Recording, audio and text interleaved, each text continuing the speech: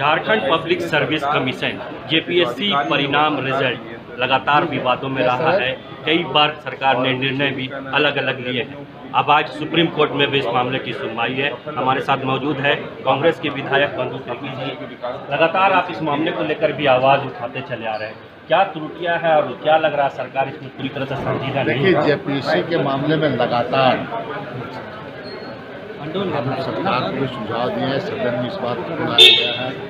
और आप पुराना फुटेज आप निकालेंगे तो मैं हुआ प्रदीप यादव जी विनोद सिंह हुआ।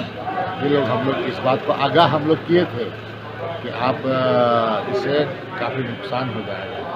लेकिन पदाधिकारियों ने, हमको लगता है कि सही तरीके से सरकार को समझाने में असफल रहे।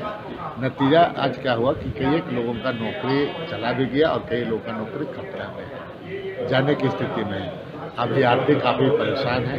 इस तरह से यहाँ पर देखिए पदाधिकारी को जानबूझ करके सरकार को बदनाम करने का पूरा का पूरा प्रयास कर रहे हैं। ऐसी चीज़ों को सरकार को भी बचना चाहिए। तो अधिकारी बदनाम करने की कोशिश कर रहे हैं सरकार हर चीज़ से वाकिफ है। आप लोग भी सुझाव दिए तो क्यों आखिर ऐसा है? सरकार को भी सरकार को माननीय मुख्यमंत्री को इसमें जो संज्ञान में लेकर चिंतन करना चाहिए था लेकिन इसको हल्के में लिया गया।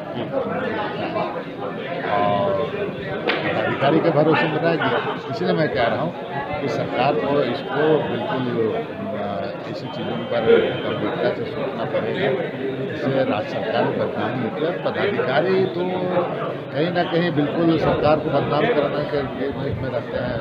तो इसलिए राज्य सरकार को इसमें बहुत सावधानी और इसमें संयम रखते हुए अब तो काफ़ी नुकसान हुआ। इससे सरकार को बदनामी फाइनली आप क्या सुझाव देना चाहेंगे? तो क्या है? अब जिन चीज़ों को जो मामले सुप्रीम कोर्ट कुछ मामला है कुछ हाई कोर्ट में मामला है ऐसी घटना ना इस तरह का फिर पुनरावृत्ति ना हो इसको सरकार को ध्यान रखना चाहिए।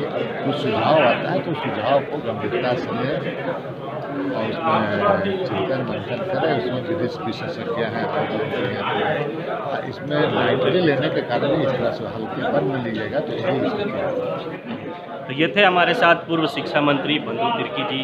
जो अभी सरकार में हैं, लेकिन कहीं ना कहीं इनका भी कहना है कि सरकार ने इस मामले को हल्के में लिया, जिसका खामियाजा आज अभ्यर्थियों को उठाना पड़ रहा है।